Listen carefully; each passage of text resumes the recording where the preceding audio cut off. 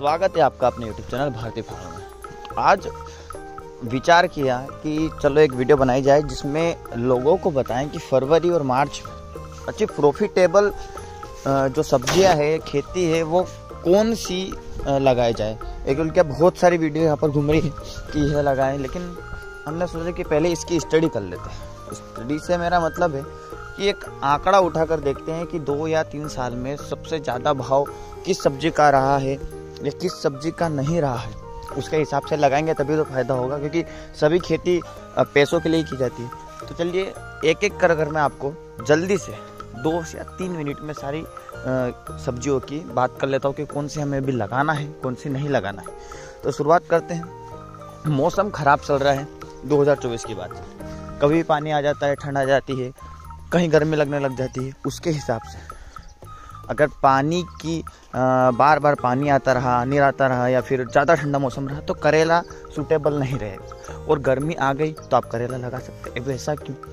क्योंकि जब हाइब्रिड खेती की बात आती है मिर्ची हो या टमाटर हो तो ज़्यादा से ज़्यादा वायरस फैलने का कारण रहता है। और करेला में एक बार अगर वायरस लग गया तो उस इतनी सी जगह में आने वाले जुलाई में आप हाइब्रिड खेती नहीं कर पाओगे। नहीं तो अगर आपने करी भी तो आपकी मिर्ची पूरी ख़त्म हो जाएगी। इसलिए देख कर ही लगाना पहली सब्ज़ी हो गई हमारी करेला। दूसरी हो गई यहाँ पे हमारी खीरा ककड़ी। खीरा ककड़ी उन लोगों के लिए बेस्ट है, जिसके यहाँ पर एक फार्म हाउस वो बना हुआ रहता है ना, क्या बोलते हैं उसको?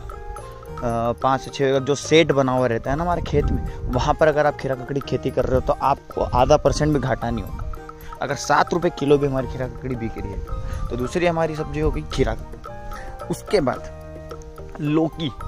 लौकी सबसे बेस्ट है, इसलिए मैं मानता हूँ क्योंकि ज़्यादा नुकसान लौकी में देखने को नहीं मिलता। हाँ अगर कुछ ज़्यादा हद तक ही बीमारियाँ हैं तो लौकी में नुकसान देखने को मिलेगा। नहीं तो लौकी सबसे सुरक्षित मेरे हिसाब से सब्ज़ी की मानी गई है। अब कुछ सब्ज़ियाँ ऐसी जिनके पास कम जगह है, जैसे कि पालक वाली हो गई।